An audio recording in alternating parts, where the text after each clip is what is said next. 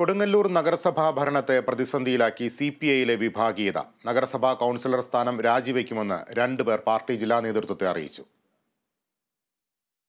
രണ്ടായിരത്തി പത്തൊൻപത് മുതൽ സി പി ഐയിൽ നിലനിൽക്കുന്ന വിഭാഗീയത ഏറ്റവും രൂക്ഷമായ സാഹചര്യമാണ് കൊടുങ്ങല്ലൂരിലുള്ളത്.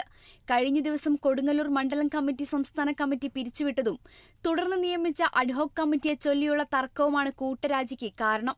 രണ്ട് നഗരസഭാ കൗൺസിലർമാർ ഉൾപ്പെടെ ഇരുപതോളം പ്രാദേശിക നേതാക്കളാണ് പാർട്ടി ജില്ലാ നേതൃത്വത്തിന് രാജിക്കത്ത് നൽകിയത്. കൗൺസിലർ സ്ഥാനം രാജിവെക്കുമെന്നും കൗൺസിലർമാരായ ബിനിലും രവീന്ദ്രൻ നടുമുറിയും പാർട്ടി നേതൃത്വത്തെ അറിയിച്ചു. നാൽപ്പത്തിനാല് അംഗങ്ങളുള്ള നഗരസഭയിൽ എൽ ഡി എഫിന് ഇരുപത്തിരണ്ടും ബി ജെ പിക്ക് ഇരുപത്തിയൊന്നും അംഗങ്ങളുടെ പിന്തുണയാണുള്ളത്.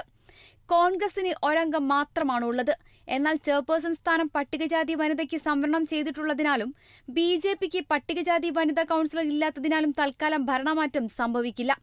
അതേസമയം വിഭാഗീയത ശക്തമായ സാഹചര്യത്തിൽ ഉപതെരഞ്ഞെടുപ്പ് നടക്കുന്ന സാഹചര്യമുണ്ടായാൽ തിരിച്ചടിയാകുമെന്ന ആശങ്ക എൽ ഡി എഫിനുണ്ട് ലോക്സഭാ തെരഞ്ഞെടുപ്പ് അടുത്ത സാഹചര്യത്തിൽ ജില്ലയിലെ സി പി ഐയിൽ വിഭാഗീയത ശക്തമായത് എൽ ഡി എഫ് നേതൃത്വം ഗൗരവത്തോടെയാണ് കാണുന്നത്.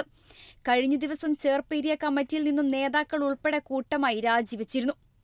Kerala vision news Thrissur.